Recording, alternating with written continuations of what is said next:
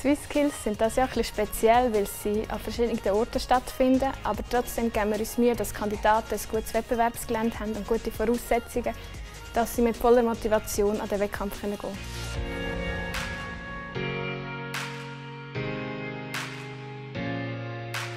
Also mitgenommen von diesem Wettbewerb habe ich, dass ich, wie ich mit dieser Situation muss umgehen muss, wenn mir so viele Leute zuschauen und unter Zeitdruck arbeiten.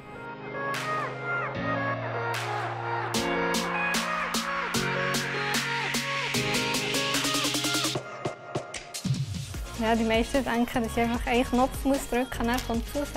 Aber das ist eben nicht so. Ja, weil ich an grossen Maschinen arbeiten aber es dann gleich auf das Kleine drauf ankommt. Zum Beispiel eben Passen stellen, die Farben übereinander sind.